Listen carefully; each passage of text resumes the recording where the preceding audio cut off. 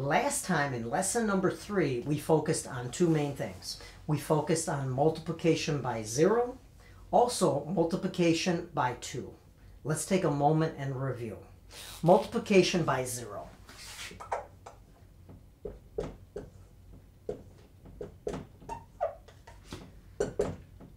What we mentioned with multiplication by zero is if either of these numbers is zero, then our final answer will be zero.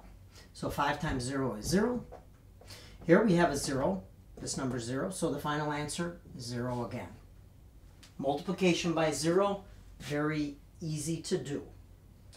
Second thing, multiplication by 2. Multiplication by 2 is easiest understood by skip counting. Hopefully, you've been able to practice skip counting. And if you skip count correctly by twos, you're going to end up doing this 2, 4, 6, 8, 10, 12, 14, 16, 18, 20. And you can keep going if you'd like. Let's take a look at some multiplication problems involving 2. Suppose we have this.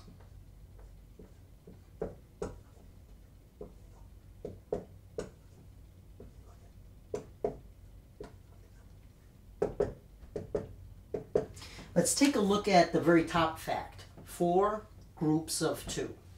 Well, because we have a two here, what we need to do is skip count to the fourth number in the skip counting sequence of numbers. That means that we're going to go two, four, six, eight. That's the fourth number right there. So we're done. Four times two will be eight. Obviously, with a little bit of practice, you're going to end up doing problems like this, not by using your fingers, but you're just going to count in your head silently. And then after a shorter period of time following that, you're going to end up basically just knowing these facts by heart. Here we have 6 times 2, 6 groups of 2. 2, 4, 6, 8, 10, 12. We know that that'll end up being 12. This last one, two groups of three. Ooh, we haven't done skip counting by three. But we know that we could go ahead and switch the order here without changing the answer, and this would be the same as three groups of two. Now, with three groups of two, we can skip count quickly in our heads. And we know the answer will be six. So that is skip counting by twos. Now, in this lesson, we're going to take a look at two very practical types of skip counting. This is skip counting by 10 or multiplying by 10, and also skip counting by 5 or multiplying by 5. Let's start off with something else though. Counting change. Counting change is something that adults need to be able to do and children need to be able to do. What do we mean by change? Well, by change, we're talking about coins, coins that have monetary value. And real quickly here, I want to go ahead and introduce these coins to you in case you haven't had a lot of experience with them.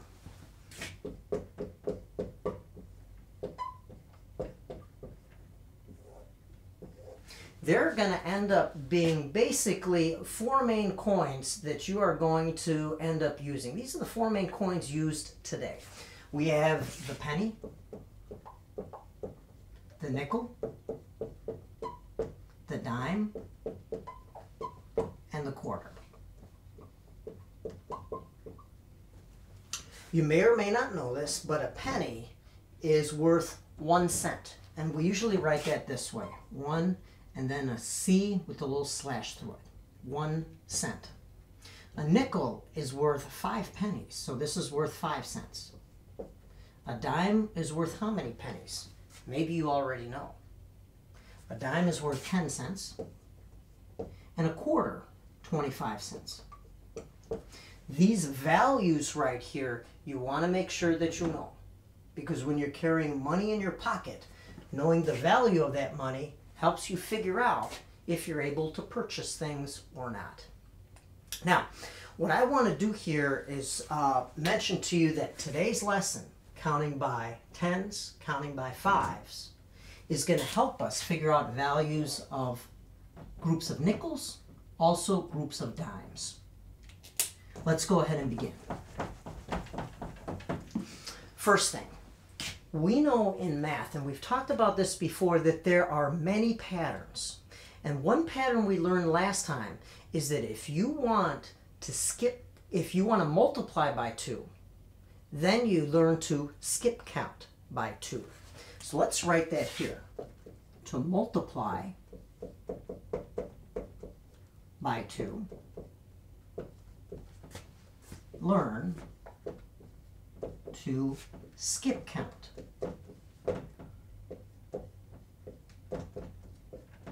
by 2.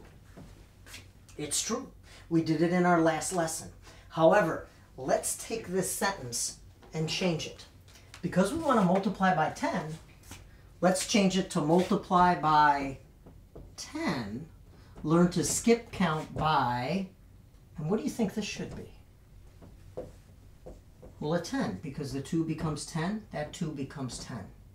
In fact, as long as these two numbers are the same, this sentence should be true.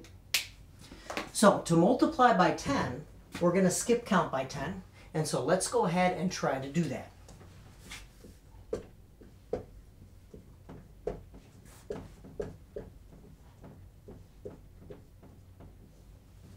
Well, what do we do? To skip count by any number, we start at that number, so we're starting at 10, so 10 goes here. And then this next number, well, we got to go up by 10. And so we need to think to ourselves, what is 10 plus 10? And many of you know that 10 plus 10 is simply 20. And if you forgot that, of course, you could always write out the problem like this, and then you could add up the units place, the tens place, get the 20. So this will be a 20. Now, to get the next place right here, we're going to take the 20, and of course we're going to add 10 to that. And of course, if you had trouble with that, doing that in your head, feel free to always write out your math. Adding these up right here in the units place, zero. In the tens place, we get 30. Now, what I want you to do is I want you to go ahead and fill in the rest of these on your own. So please hit the pause button and try to do that. And then, in just a few moments, we will go ahead and fill in the rest, see how everything went. Very good. Let's go ahead and take a look and see what we end up getting for the rest of these. If we do these correctly, 30 plus 10, we're going to get 40, 50, 60, 70, 80, 90, and 90 plus 10, 100. Now, of course, the list goes on, but usually for our purposes, we'll stop at 100. Now, one thing that we want to realize is just like with the twos, there is a pattern of multiplication problems that goes right along with these numbers. What we mean by that is this. We can think of this 10 as being 1 times 10. The 20 as being 2 times 10. And you probably, of course, remember with the 2's we had a 1 times 10, 2 times 10. It's going to be 3, 4, 5, etc. So let's go ahead and write these in.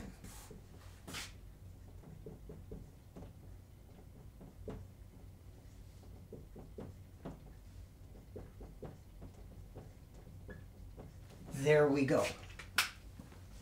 And what we have here are basically answers on the top to a whole bunch of different math problems on the bottom. 8 times 10 is 80. 7 times 10, 70. 6 times 10, 60. Works just like what we had with the number 2. Now, what I want to do next is have us grab some of these problems that are right up here and write them out and look for what we see often in math patterns. So I'm going to go ahead and describe a few of these. I'm going to write 3 times 10 is 30. 5 times 10, 50. 6 times 10, 60. 8 times 10, 80. Now, our goal right now is to try to see if we can find a quick way to do each one of these problems if we didn't know the answer and if we didn't have a list like this. And so what I want you to do is I want you to see if you can find a pattern here in our problems. So cover up the answers perhaps and see if you can find a quick way to figure out what's under my hand here by just looking at these numbers. Try that right now. Hit the pause button, give it some thought, and then we'll go through that. Very good. Let's go ahead and take a look and see what we have here. I think if you look at this closely, 3 times 10 is 30. One thing that you realize is that we've got the number 3 here, we got the number 3 there. In the second one, we've got a 5, and we also have a 5 and 50. In fact, when we multiply by 10, it's like taking this first number here and copying it down, and then the 0 from the 10, putting that at the end. So 3 times 10 is 3 with a 0 at the end, 30. 5 times 10 is 5 with a 0 at the end, 50. And hopefully you recognized a pattern like that when you went through the math. Now, what I want to do is I want to give you a few problems like this to try. And so I want you to copy these down, and then I'm going to have you pause.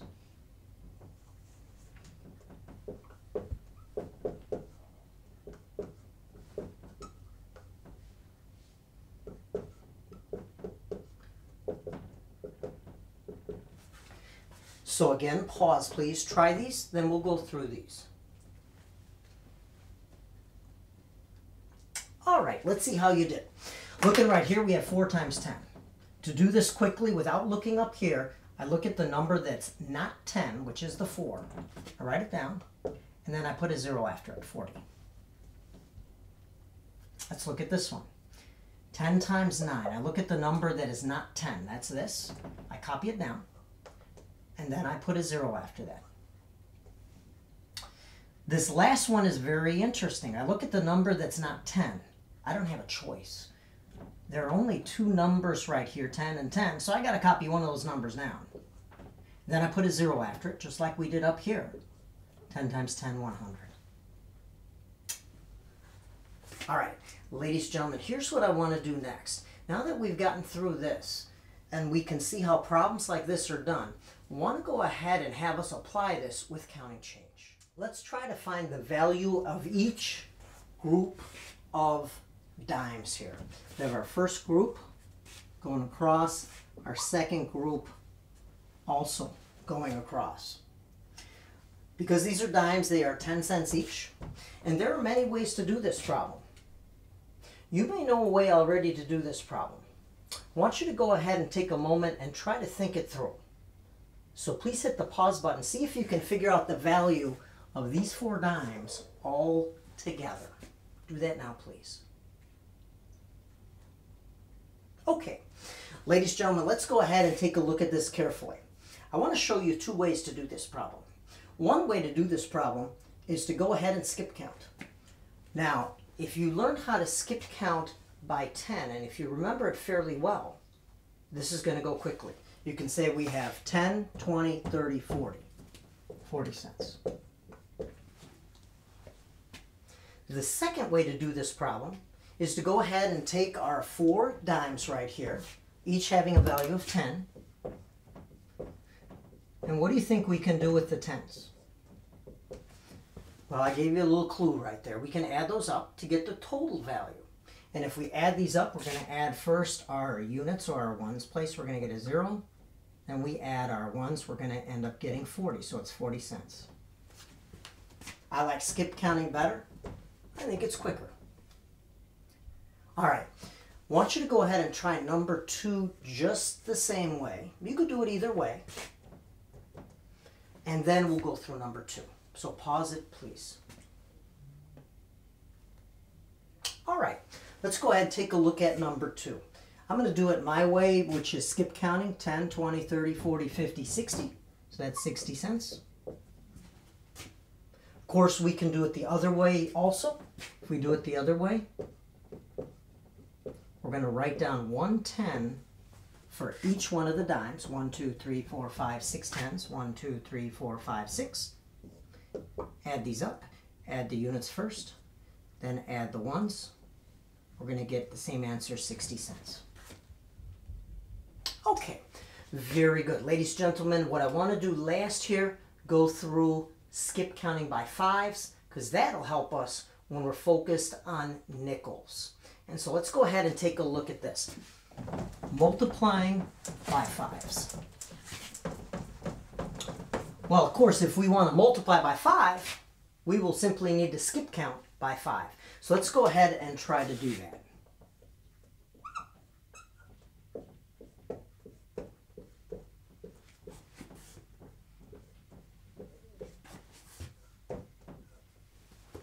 Well, here we have the number 5. And of course, to get the next number, we're going to need to go up 5. So 5 plus 5 is going to give us 10. Now from 10, we're going to go up 5 again. 10 plus 5 gives us 15. I want you to go ahead quickly fill in the rest right here on your own. And then I'll go ahead and fill those in and see how you did. So please go ahead, take a moment, pause it, and then we'll go through that. Okay, let's go ahead fill in the rest after 15. 15 plus 5 is 20. If you got stuck with this, what you can always do is take your 15, and because we're going to add 5 to it, we can go ahead and write it this way. Make sure we line up the ones, or the units. 5 plus 5, 10. Carry the 1, we're going to get 20. So there's our 20. Next, after 20, 25, 30, all the way to the end.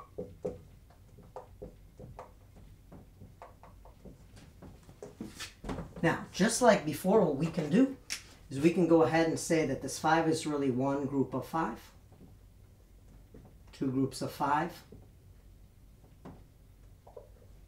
all the way down to the end.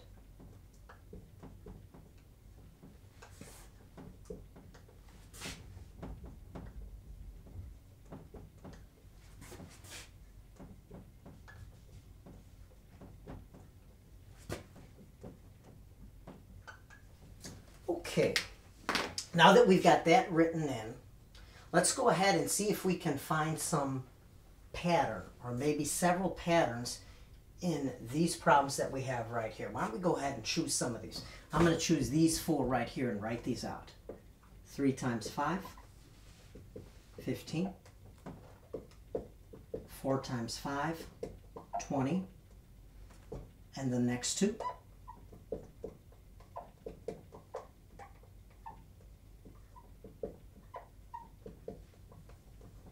All right, now that we have these written down, what I want you to choose is your mission, ladies and gentlemen, I want you to see if you can figure out some patterns that we have in these problems. So take a moment to do that. Of course, pause, and then we'll go through that briefly.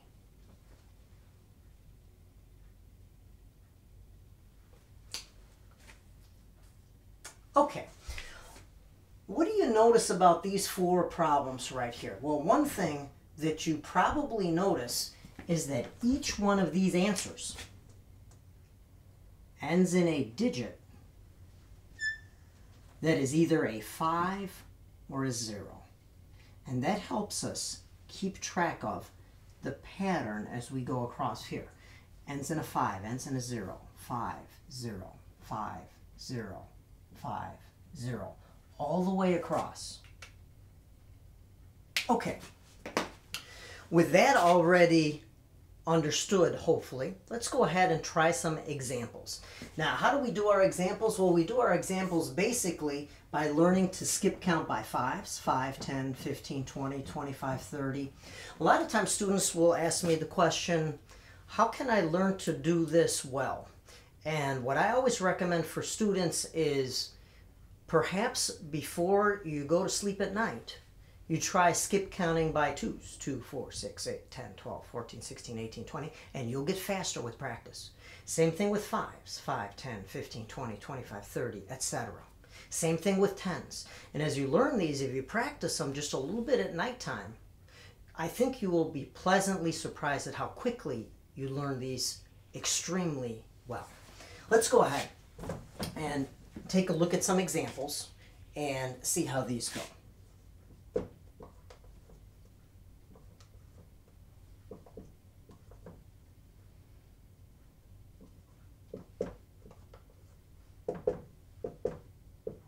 Okay, I want you to go ahead and try these three problems on your own, and then we'll go ahead and take a look and see how things turned out. So pause the video, please.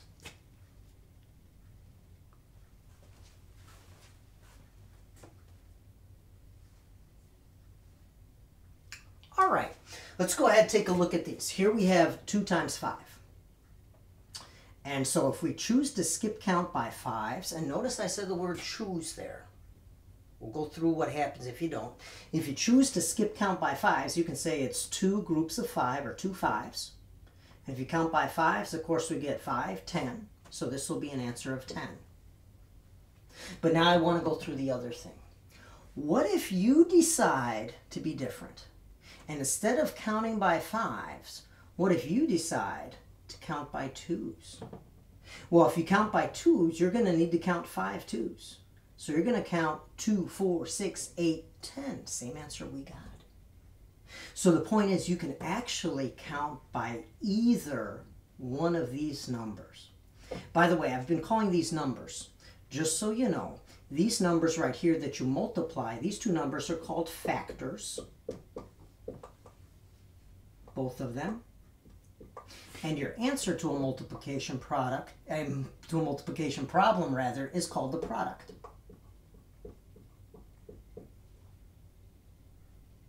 All right. Let's go ahead and take a look at the second one. Here I'm going to count by fives. 5, 10, 15. That's three of them. So this will be 15.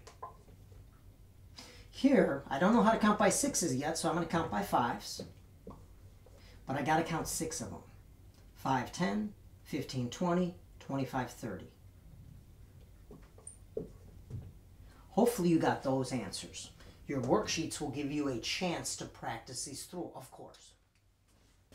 Okay, let's go ahead and finish things up. What I have here are two groups of nickels. Got three of them up here. Remember, a nickel worth five cents. We've got five of them down here. And what we want to do is find the total value of each group of nickels. What I want you to do is use what you know about skip counting and about addition and see if you can figure out the final answers here. So pause it please, give this your best try, and then we'll go through this.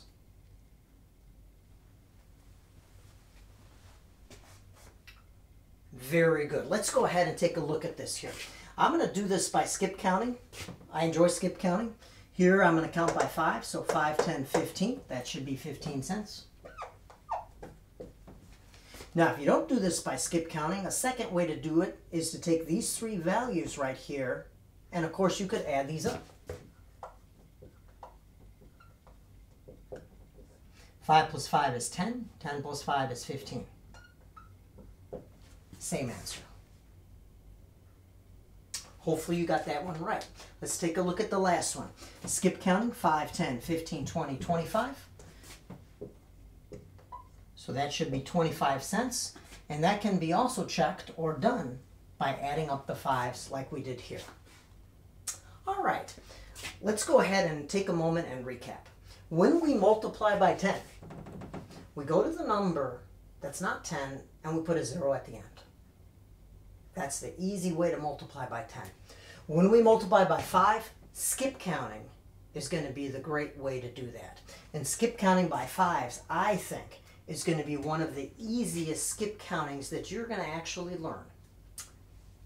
Now, next time, next time we're going to focus in on multiplying by 3, so that'll be skip counting by 3 that we learn to do. Also, multiplying by 9, that'll be skip counting by 9.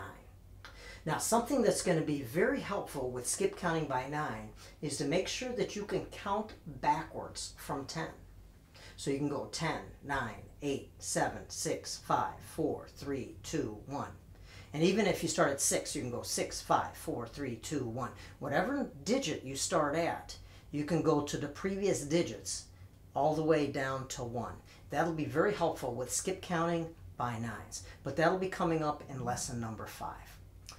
Now you should be all ready for the worksheet. Please give it your very best effort. And then lesson number 5 will be next.